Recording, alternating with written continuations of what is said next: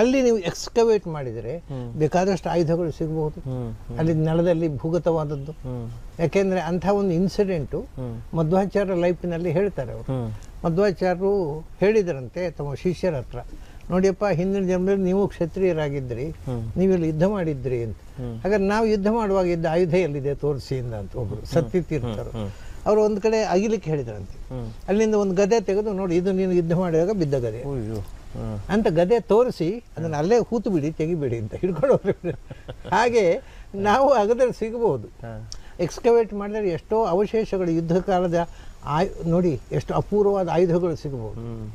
ಯಾವ್ಯಾವ ಥರದ ಆಯುಧಗಳಿದ್ದು ಅದನ್ನು ಇವತ್ತು ನಾವು ಊಹೆ ಮಾಡೋ ಸಾಧ್ಯತೆ ಅದು ಅದಕ್ಕೆ ಎಸ್ ಆರ್ ರಾವ್ ಹಾಗೆ. ಹೌದು ಎಕ್ಸ್ಕವೇಟ್ ಅಲ್ಲಿ ಹೋಗಿ ಈಗ ಹೇಗೆ ದ್ವಾರಕ್ಕೆ ಸಿಕ್ಕಿತು ನೀರಿನ ಅಡಿಯಲ್ಲಿ. ಅದೇ ರೀತಿ ಎಕ್ಸ್ಕವೇಟ್ ಮಾಡಿದರೆ ಎಷ್ಟೋ ಆಯುಧಗಳು ಸಿಗಬಹುದು. ದ್ವಾರಕ್ಕೆ